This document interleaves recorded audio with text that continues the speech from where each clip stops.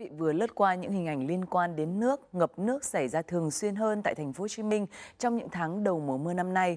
Và câu chuyện trong tiêu điểm ngày hôm nay là vấn đề sụt lún tại thành phố này, một hiện tượng với nhiều nguyên nhân đã và đang diễn ra âm thầm trong hàng chục năm qua. Cơ quan hợp tác quốc tế Nhật Bản gọi Một trong những nguyên nhân chính của hiện tượng sụt lún này là việc khai thác nước ngầm quá mức.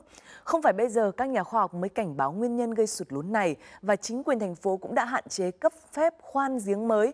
Tuy nhiên, do thói quen cũng như là do nhu cầu sản xuất cần nước tưới tiêu để đỡ tốn chi phí hơn mà các giếng khoan à, đã có trong thời gian trước đây bị khai thác hết công suất và tình trạng khai thác không phép giếng khoan vẫn xảy ra, nhất là tại các ờ, huyện ở vùng ven thành phố. Theo số liệu cơ quan chức năng, hiện thành phố Hồ Chí Minh có gần 343.000 giếng nước ngầm. Lượng nước ngầm khai thác bình quân mỗi ngày để sử dụng cho công nghiệp, nông nghiệp, sinh hoạt và các nhu cầu khác là khoảng 600.000 mét khối. Qua khảo sát của cơ quan chức năng, quận huyện nào có số lượng giếng khoan khai thác sử dụng nguồn nước ngầm nhiều thì tỷ lệ lún tại khu vực đó lại càng cao đất lún với biên độ khó phát hiện bằng mắt thì nhưng ngày càng có nhiều những con đường bị ngập sâu trong nước mỗi khi mà mùa mưa về. Thành phố Hồ Chí Minh đã xử lý bằng cách là nâng cao mặt đường để chống ngập. Vậy những nhà dân thì sao? Chúng ta cùng xem là một công trình nhà ở tại quận 6 đã xử lý lún như thế nào. Liệu đây có phải là giải pháp căn cơ cho việc chống lún, chống ngập đang diễn ra hiện nay hay không?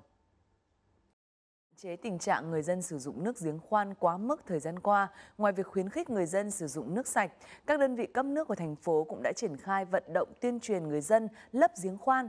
Chương trình này khởi động từ năm 2019 và qua 3 năm thì đã có trên khoảng 20.000 chiếc giếng khoan tại các quận đã được lấp ngưng sử dụng. Chi phí lấp được nhà nước hỗ trợ 100% và phần đầu đến năm 2025 sẽ lấp và ngưng sử dụng khoảng 100.000 giếng khoan hiện nay đang sử dụng trong dân. Cuộc thi Hoa hậu Hòa bình Việt Nam Miss Grand Việt Nam 2022 đã chính thức khởi tranh để tìm ra đại diện tiếp theo của Việt Nam, tiếp bước Nguyễn Thúc Thùy Tiên chinh phục đấu trường sắc đẹp quốc tế. Bên cạnh nhan sắc thì tấm lòng nhân ái vì cộng đồng cũng là yếu tố quan trọng để đánh giá các thí sinh. Và phần thi Hoa hậu Hòa bình Việt Nam, những câu chuyện truyền cảm hứng là nơi họ thể hiện được điều đó. Đây cũng là nơi mà những câu chuyện đẹp được lan tỏa.